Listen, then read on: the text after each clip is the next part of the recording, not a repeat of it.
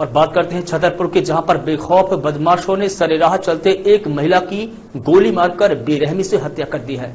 घटना ओरछा थाने की बताई जा रही है। बीती रात जब मिजाजी लाल अपनी पत्नी के साथ बाइक से से गाँव जा रहे थे, तभी बदमाश बाइक से आकर उनकी बाइक रोककर विवाद करते रहे।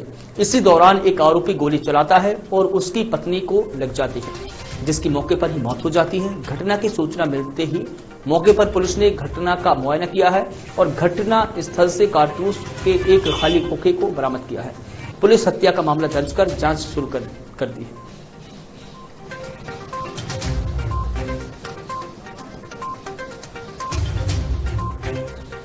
जो धामची थाना ओरछा रोड के अंतर्गत आता है वहाँ पे कैडी पुल है फोर लेन में। वहाँ पे हंड्रेड डायल के पहले सूचना प्राप्त हुई फिर इमीडिएट हमारे थाना प्रभारी के पास भी सूचना प्राप्त हुई। कि किसी महिला की मार के हत्या की गई है। गंभीर मैटर था। एसपी सर्वेलर सभी रात में स्पॉट में गए थे।